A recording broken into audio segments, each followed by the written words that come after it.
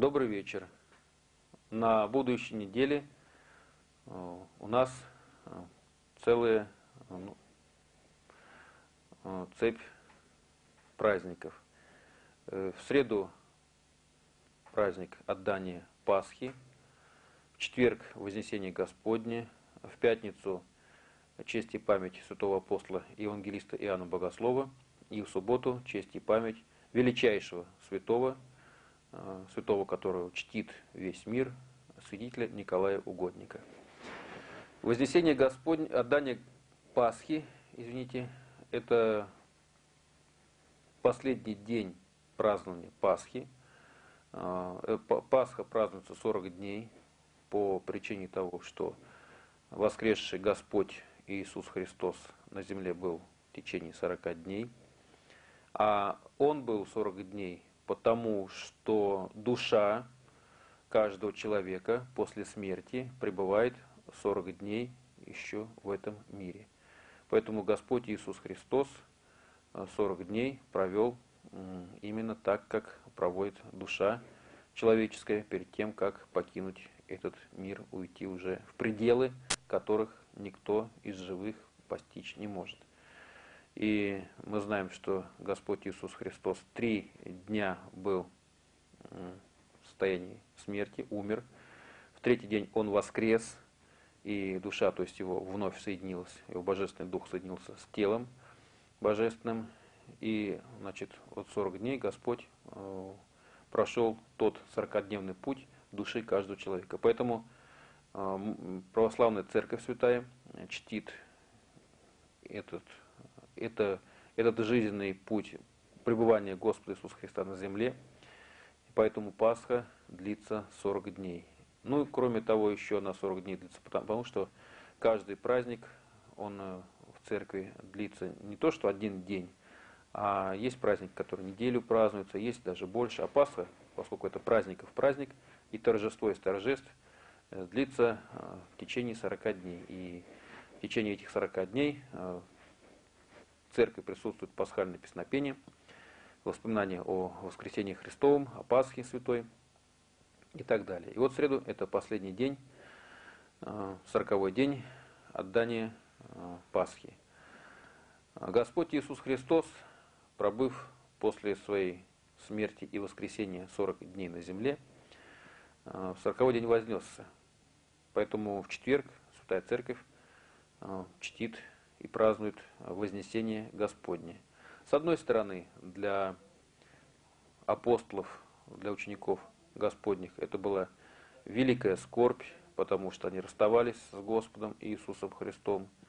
А Он еще говорил им до своего, до своей смертной, см- до своей крестной смерти, говорил о том, что ему предстоит э, сороковой день после смерти вознестись на небо и уйти, оставив учеников одних. Они очень скорбели об этом, просили его не уходить от них, однако Господь им сказал, «Если я не уйду от вас, то не умолю Отца моего, и Он не пошлет вам утешителя Духа истины, Духа Святого».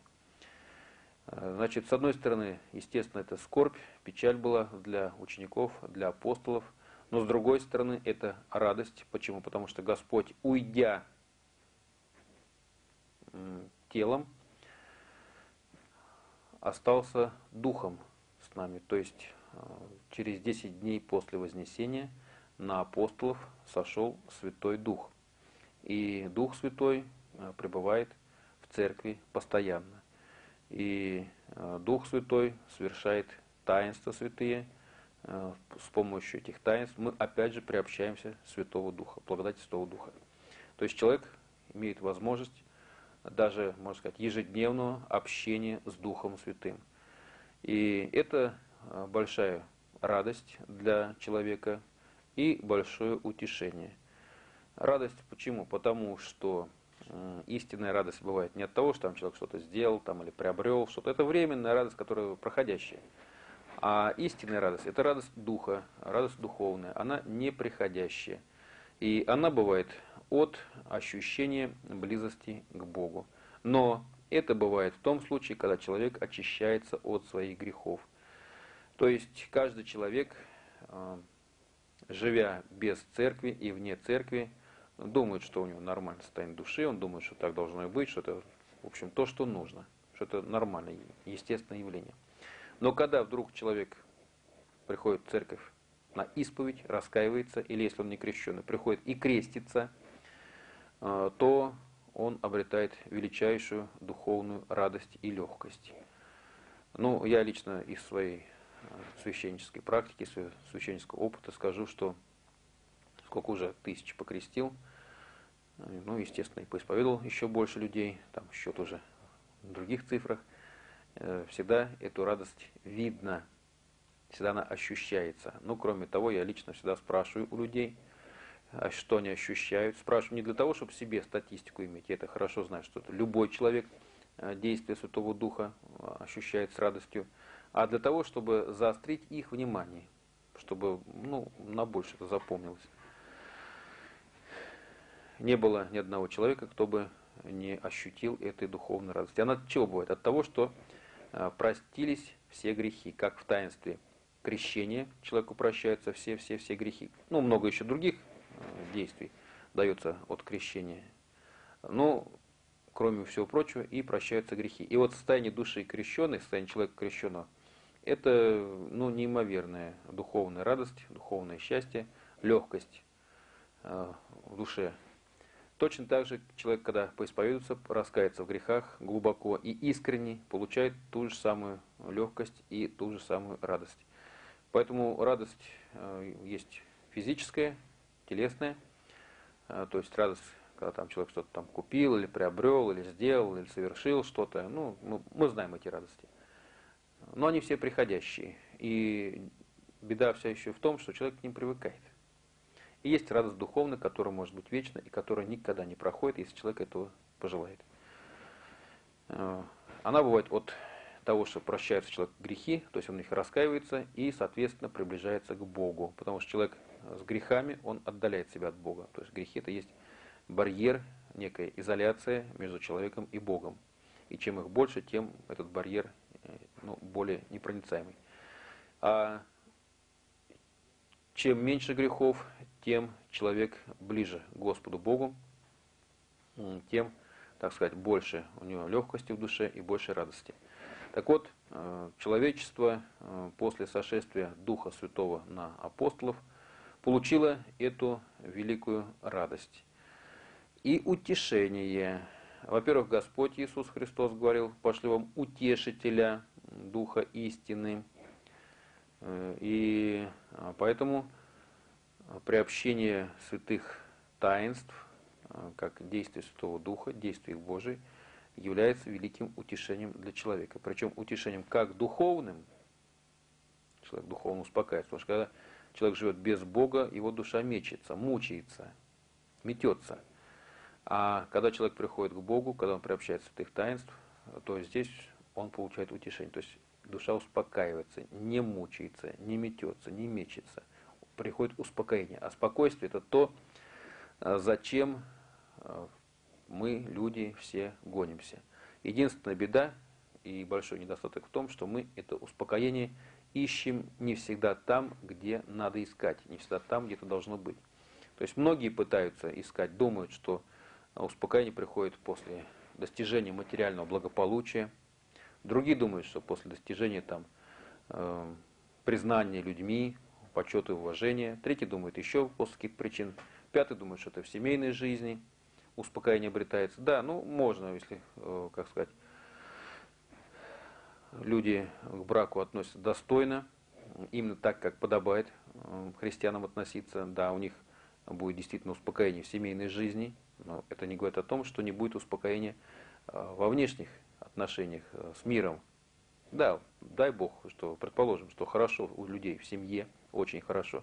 Но никто не гарантирован от того, что на работе что-то не будет плохо или тяжело, или э, еще где-либо, или там с детьми, не дай бог никому. тоже будут какие-то неувязки в жизни. То есть э, скорби, несчастья, невзгоды, они у всех есть, от них никуда никому не деться. Если у нас в одном хорошо, в другом обязательно что-то будет плохо, в третьем и так далее. И э, успокоение, конечно, искать нужно, но нужно искать еще и главное успокоение. То есть мы обязаны э, делать, чтобы у нас и в семейной жизни было, было хорошо, мы обязаны и работать, мы обязаны и зарабатывать, и семью кормить. Зарабатывать не для того, чтобы, так сказать, э, гнаться за деньгами, чтобы поставить их целью жизни, а для того, чтобы семью кормить.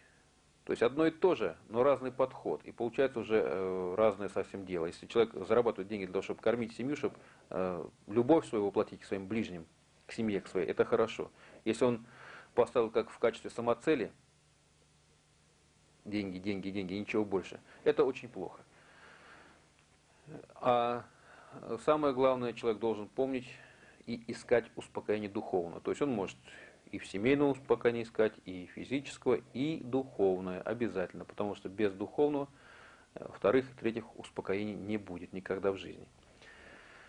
И когда будет у человека душа спокойная, тогда у него будет и все спокойно. И отношение к жизни будет правильным.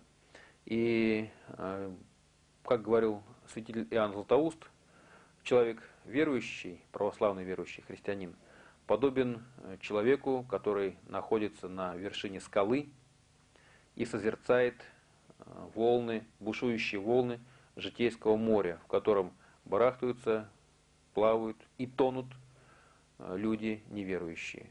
То есть действительно житейское море нас всех не то что колышет, а штормит очень сильно, это мы хорошо ощущаем. И не только верующих и неверующих, и других религий, то есть всем в этой жизни очень тяжело достается. Но э, православная вера дает людям возможность духовно именно взойти на скалу. То есть физически мы все будем барахтаться, это понятно, то есть жизнь там такая. Но если человек имеет э, упование на Бога, то это у него главная твердыня, э, которая дает ему крепость, уверенность и спокойствие во всех жизненных тяжелых ситуациях. То есть человек верующий, он понимает, что ну, такова воля Божья. Значит, где-то я был виноват, где-то я согрешил, что вот сейчас у меня такие или такие испытания, наказания – Э, приходится претерпевать. И он не скорбит от этих наказаний, от этих испытаний. Он, наоборот, воспринимает это со смирением и кротостью. Поэтому ему спокойно. А человек, который живет без Бога, естественно, у него это большое разочарование, большой удар там, по самолюбию, по а, гордыне, или просто по карману, или еще по чем-то, или по нервам, ну, каждому по-своему, в зависимости от того, какое несчастье. И, соответственно, никакой твердыни у него нет. И это очень тяжело. Поэтому общение с благодатью Духа Святого, это есть именно та твердыня, которую получает каждый человек. То есть именно утешитель, утешение человек получает, духовное утешение. Физически, да, может быть, нам тяжело всем по жизни, это понятно, никто этого не избежит. Но дело не в том, какие тяжести мы переносим в жизни – а дело в том, как мы к ним относимся. То есть к ним надо всегда правильно относиться. Если человек понимает, что такова воля Божия, и это должен перетерпеть с достоинством, значит, эти скорби проходят для него не так болезненно и не с такими последствиями. А самое главное, у него правильное к нему отношение. Я заслуживаю это. Соответственно, и радости больше будет в жизни. Если человек не имеет э, упования на Бога, на Его святую волю, естественно, для него это будет очень большая скорбь и очень безысходная скорбь. А это печально. Это очень тяжело, трудно, и многие даже и не выдерживают. Поэтому Господь ушел сороковой день от нас, Господь Иисус Христос, но пришел Дух Святой, и Он всех нас по сей день, каждого желающего в любой момент – может утешить, э, дать нам успокоение, умиротворение и прощение грехов для того, чтобы мы имели чистое общение с Господом Богом.